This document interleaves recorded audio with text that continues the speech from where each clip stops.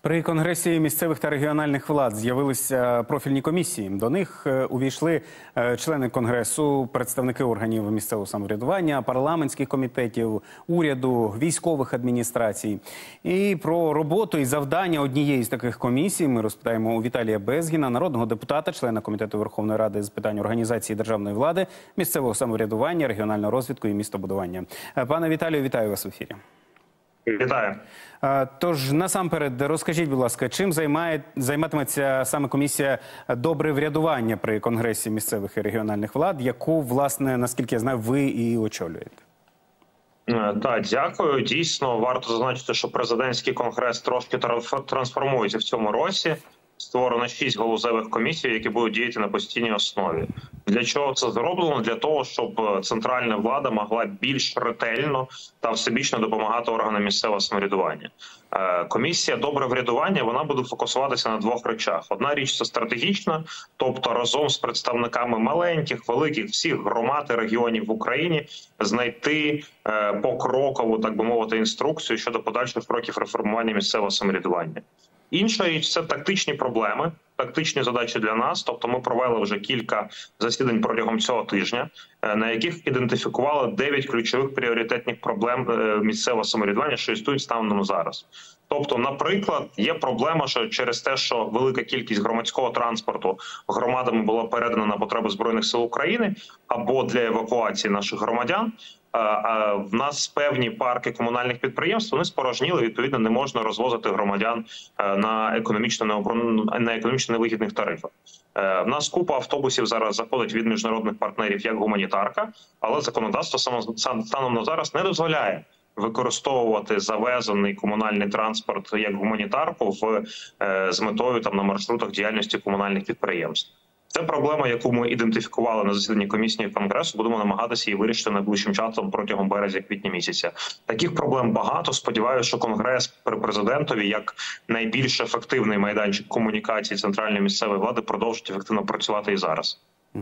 А за якими напрямками ще створено інші комісії? Розкажіть, будь ласка, скільки їх, в чому полягатимуть їхні завдання? Комі- Комісії загалом шість. Вони напевно якнайкраще відображають е, ключові пункти порядку денного сьо- сьогодення. Е, Є окрема комісія, що буде обійматися е, політикою героїв та ветеранською політикою. Є окрема комісія, яка буде обійматися євроінтеграцією України як держави і власне громад та регіонів в цьому контексті. Комісія з питань гуманітарної політики, яка буде торкатися питань охорони здоров'я, освіти, соціальних потреб.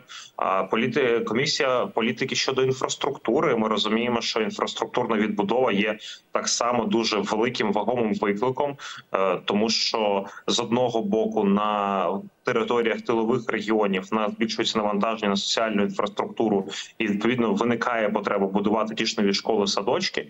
В той же час е, деяку критичну інфраструктуру на регулярній основі треба лагодити безпосередньо е, біля фронту, біля лінії розмежування. Тобто, всі ці комісії будуть діяти регулярно. Сподіваюсь, що кожна з них покаже свій результат, як з точки зору стратегії держави, так і з точки зору допомоги громадам в доланні викликів. Здається, ще не згадав е, комісію з питань безпеки. Е, Тут мова йде про безпеку в громадах. Ми ж розуміємо, що це питання поліцейських офіцерів громади, е, це питання відеоспостереження, це питання комфорту наших містян на кожній території. А якими будуть перші кроки, от, наприклад, вашої комісії? Чого е, очікують місцеві влади? Можливо, є якийсь зворотний зв'язок уже від них? Ну, дивіться, я можу пояснити, як відбувалося наше попереднє засідання. Е, Ми зібрали більше ста представників. Це все представники місцевого самоврядування, де вони в режимі е, в режимі постійного діалогу могли озвучити ті проблеми, що перед ними постають. Е, Ми почули близько 25-30 проблем. Після цього виставили цю проблематику на ранжування на опитування серед самих представників громад. З цього вивели топ 10 проблем, по яких будемо шукати швидкі пріоритетні рішення.